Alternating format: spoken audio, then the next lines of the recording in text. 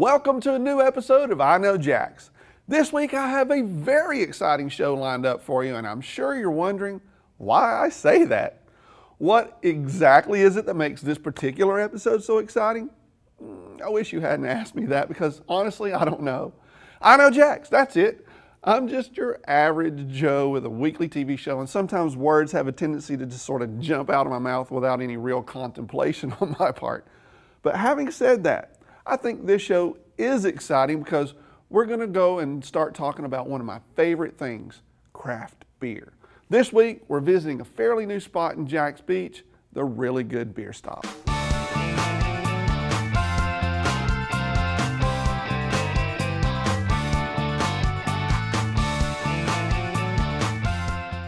So Tim, tell me how you guys got started with really good beer. So we, um, I've lived in Jacksonville for 20 plus years, and for a year, my wife and I moved to Atlanta. And when we moved to Atlanta, we uh, went up there with a six-month-old and, uh, and, and, moved back, and actually had two kids. But when we lived there, the bar scene was was over, right? Um, and you know, for I really, anyway. yeah, for me anyway, and, and uh, for both of us, and um, we really enjoyed just experiencing different beers, and that was what I liked about going to bars is you could try different beers. Sure. And the craft beer movement was starting at the time. And um, but we we basically would go to a growler store that was right around the corner, yeah. pick up really good beer to go, take it home, and and you know rinse and repeat, which is kind of what our, our motto is here. Right. You know, it becomes like a propane tank. You take it home, drink it, bring it back. But the goal is each time that folks come in here, like it was with me when I went to the stores in Atlanta, was there's something different on right. it. Because you guys are already getting to learn my taste too. I've been here a few times. You're going, yep. oh, okay. Yeah, we figure it out. Figure it out, as we go. But you, have got what, 20 taps and you rotate it? Yep, 20 rotating taps. And um, with each of those taps, there'll be a, a, beer that's on there. And then when that keg goes out, something different typically goes on behind it. We've very seldomly put on the same beer twice. What's your process for picking beers? Uh, Does it taste good? I mean, obviously that's yeah, one. yeah, a lot of that, and then it's also, I mean, there's some some great information out there now on um, what beers are, are, ranking really well and right. doing very well. And, and as I said, as the movement continues to grow, there's more and more people, you know, with opinions and beer advocate, and those I guys all rank them. Absolutely. so if you come in here, you can do a flight, right. uh, three, four ounce pours for five dollars. You can do a pint like these guys, uh, and they range in ta- or uh, price just based on what the what the is. ABV of the beer right. is. Um, and that's alcohol by volume. It is.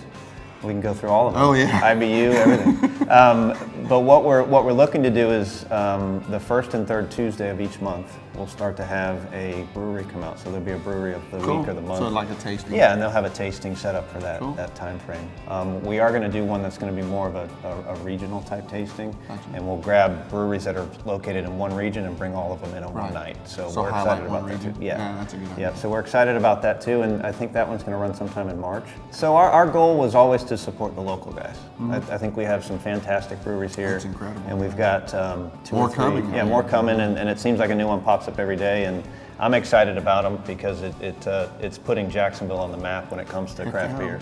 Um, I think we've got some. Asheville, look out, man! We're coming to get you. Next in line. Uh, Cigar City, are you doing anything with the meaderies? Uh, we are not as of yet. Right. We've talked to them about it, and we're, we're trying to figure out exactly what that's going to look like.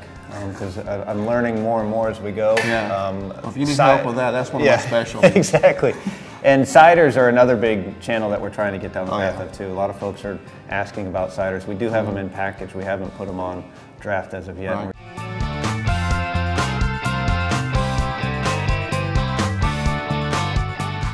You come by, you never know, you might see me sitting here drinking one or two. Wasn't that cool? I'm a big fan of growlers because I can stop by a brewery or a filling station and bring home some really good beer. See what I did there? Let's move away from craft beer, fresh and new, to the old and stuffy. That's right, Kris Chislett and I are going to talk about wine, and this time we're talking about port. Right now, we're making the schedule for the spring season. This year, we have a lot of interesting stories that we're planning to do. Here at I Know Jax, we talk about fall festival season and spring festival season because once we hit March, festival season goes into full swing, and I love that. Now, I can't wait for GastroFest. That's coming back to downtown this year in March. And I know Jax is again participating with a screening at MOCA. I'll tell you all about that when we get closer to it. I'm also a big fan of Spring Blues that's happening at Jax Beach. It's one of my favorite events of the whole year at the beach. But enough of me dreaming of spring weather. Let's get on with the show.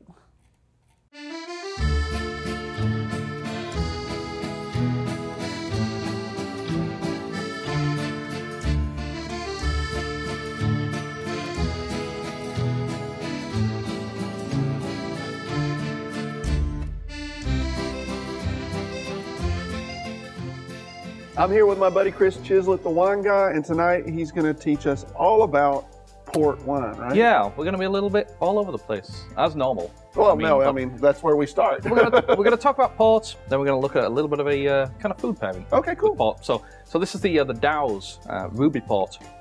All right, this is kind of where port starts. There are Right. a bunch of different types of ports.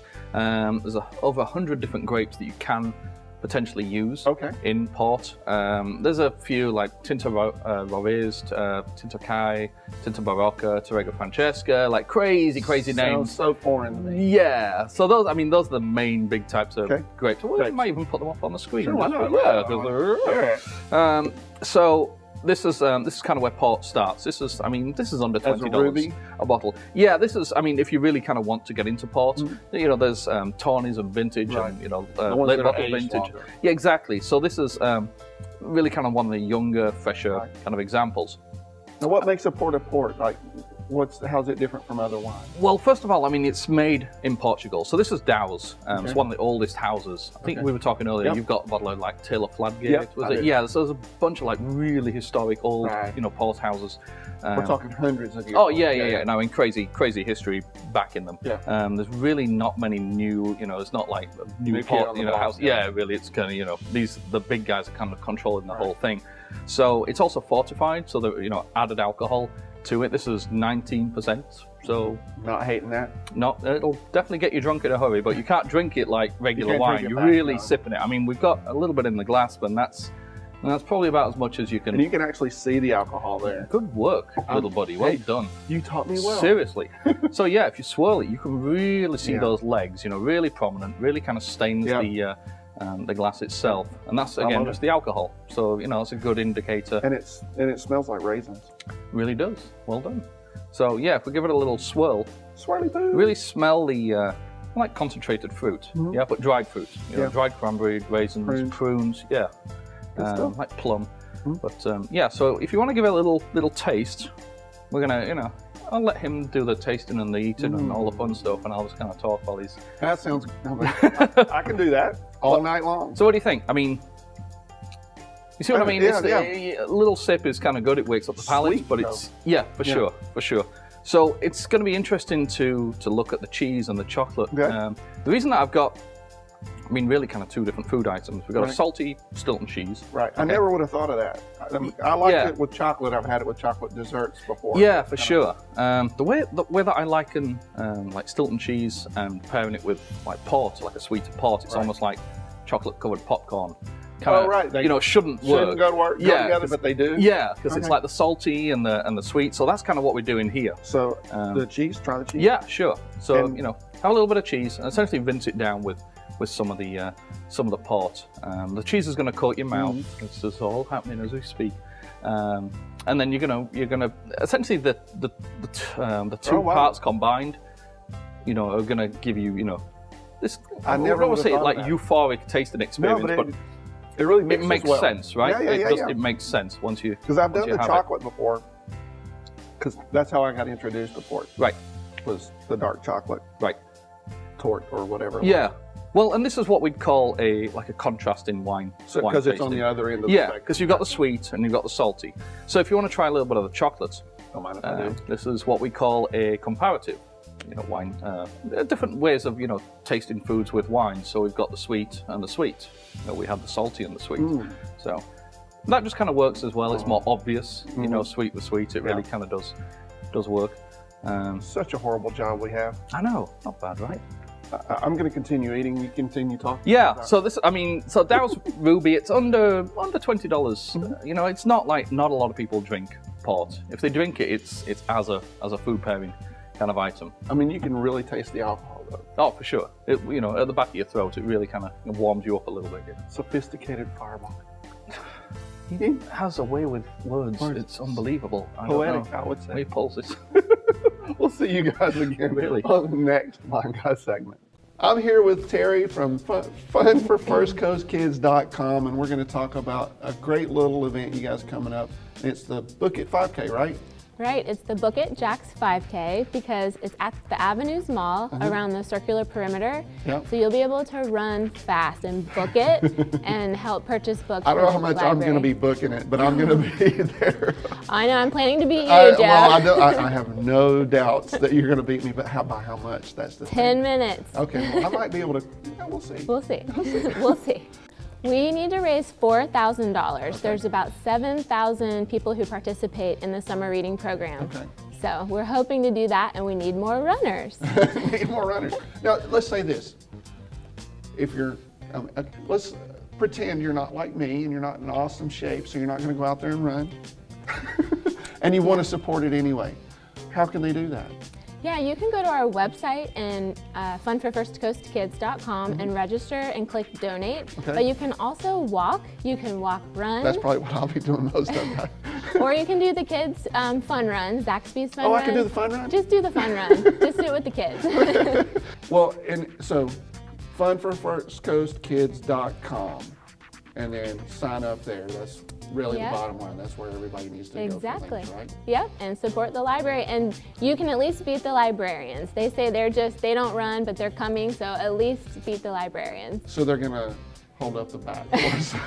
You can be with the strollers in the that's, back. that's me, exactly. I might be in one of the strollers if I try too hard. Yeah, no, it'll be fun. You can do it. Thanks for watching. Right now we're in the process of updating our YouTube channel and reworking our website. So I'll be starting to upload a lot of food stories online within the next few weeks. You'll always know when I'm uploading new stories if you subscribe to my YouTube channel because then you'll get notified as soon as new content is available. Now another interesting tidbit, we're going to start a daily I Know Jax update airing on CW17 Monday through Friday in the evening. Now, I'll let you know more about that shortly, but these daily updates are scheduled to start airing February 1st.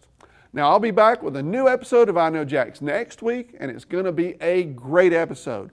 We'll be back at our normal Saturday broadcast time at 8 p.m. on Saturday, or you can watch us at 8:30 p.m. on Sunday as usual. See you next week, but until then, I'll see you on the internet. I hope you enjoyed the video. I would love to hear from you in the comments below. Now, if this is your first time watching an IKnowJax.com video, I would love to have you subscribe so that I can continue to help you find fun things to do in the Jacksonville area. Every weekday, I do a daily video update to remind you of the things that are happening this week.